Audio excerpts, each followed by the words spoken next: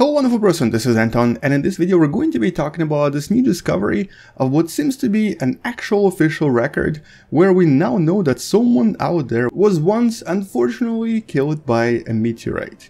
Today we're going to talk about this discovery and also a few other discoveries from the last few years and welcome to What Da Math.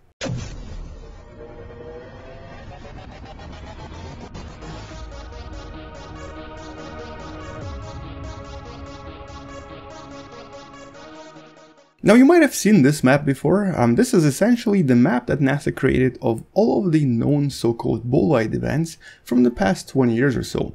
Bolides are usually these uh, relatively small but also not too small rocks that enter the atmosphere and explode in the atmosphere, creating a somewhat visible event. The most famous such event was of course the 2013 Chelyabinsk meteor that exploded with so much power that essentially it kind of caused a lot of destruction around the city and even resulted in uh, minor injuries. But the thing is, obviously it did not kill anyone. We also have the much older Tunguska event, also from Siberia, that back in 1908 ended up creating so much destruction that several hundred people had to be hospitalized when a rock roughly around 65 meters in size exploded in the atmosphere. And just for comparison, this right here is the Chelyabinsk meteor. This is a much smaller rock that didn't actually create as much destruction. And we have a few other really interesting events that happened in the last hundred or so years. All of them were, um, to some extent, somewhat unpredictable and somewhat random. For example, this is probably the most famous meteorite in the US. This is the so-called Sylacauga or Hodges meteorite that it basically became famous back in 1954 when it went through a roof of a house and injured this wonderful lady, Ann Hodges. Essentially, this was one of the first accounts of someone getting seriously injured by a meteorite and completely by accident. And the scientists even identified where this particular rock probably came from, it's this much larger parent body known as asteroid Toro. This is a rock that's about 2 miles or about 3.5 kilometers in diameter and it was discovered back in 1948. It's uh, orbiting Earth every 1.6 years and looks like a piece of it came off and decided to land on our planet and, well, hit Ann Hodges. But there were a few more less documented cases, specifically one from 1992 in Africa, where a Ugandan boy may have been hit by a smaller 3 gram rock that's only about this big, and another one from India in 2016, but none of these are thoroughly verified. As a matter of fact, there's very little evidence to suggest if this was actually true or not. But when you really think about it, considering how many collisions our planet gets every single day, you would really expect this to happen much more frequently.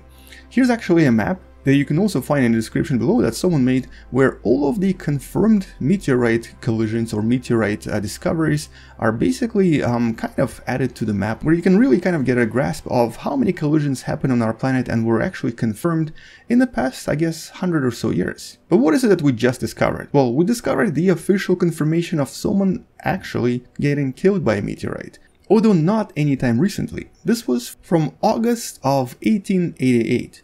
So basically over 130 years ago. But what makes this study very interesting and also this particular discovery really unique is that it's an official government document kind of making it absolutely official that this is exactly what happened. So basically, back in 1888, somewhere in the region right here in the area known as Kurdistan, there was potentially a bolide, a relatively large explosion in the air that created a tremendous amount of different tiny pieces of rock suddenly falling to the ground.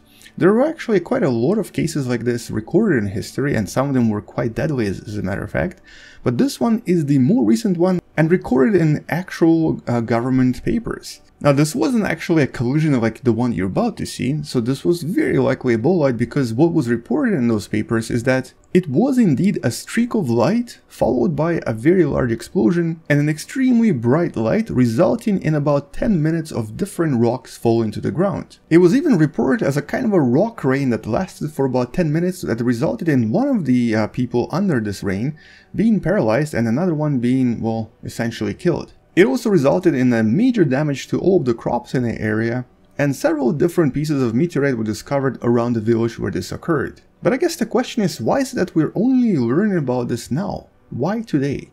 Well, it so happens that it's actually related to the language this was written in. The language used here is what's known as a kind of an old Ottoman Turkish language that's very difficult to read and it had to be first translated to modern Turkish and then to English. And following the translation, the scientists realized that it was actually talking about an actual collision from a meteorite that resulted in a lot of damage to the property. But that tiny village of a few thousand people today is a booming city of about close to a million people located in northwest Iraq. And it's also very likely that most people living there today have no idea this even happened. Nevertheless, it's a pretty interesting piece of history and a really interesting way for us to uh, try to analyze how many collisions actually do happen on the planet and how many of them result in fatal accidents. Now, events like this do happen um, roughly around every few decades, so it's quite likely that within the next few decades, somewhere around the planet, there's going to be another major bolide event that might become quite dangerous and possibly result in more fatalities. Hopefully by then we can predict them quite well and also prevent this from happening. And one of the reasons why more similar events don't happen more frequently, like for example from these small meteorites that enter Earth pretty much every second, is actually because most of them are really tiny and most of them end up on our roofs or bouncing off the buildings we live in. So we're kind of well protected from smaller rocks. But the larger ones, the so-called bolides that do explode in the atmosphere and can cause a lot of damage, usually happen over oceans simply because most of our planet is oceans, it's water. And this map right here does show you where they occurred in the last 20 years. So right now it's all kind of a matter of chance where this event happens and when it happens as well. Hopefully by then we'll be ready and we'll be able to prevent it. But until we discover more similar events or until we uncover some other unusual collision that happened in the past, that's pretty much it. And in one of the future videos I'm also going to be talking about one of the major bolide events that occurred a few hundred years ago that actually did destroy a lot of property and did result in a lot of casualties. But I'm not going to spoil it just yet. Until then, thank you for watching, subscribe if you still haven't, share this with someone who loves learning about space and sciences, and come back tomorrow to learn something you may have not known before. Consider supporting this channel on Patreon, it does help me quite a lot, and alternatively you can also support this channel by buying the beautiful wonderful person t-shirt that you can also find in the description below. I'll see you tomorrow, space out, and as always, bye bye.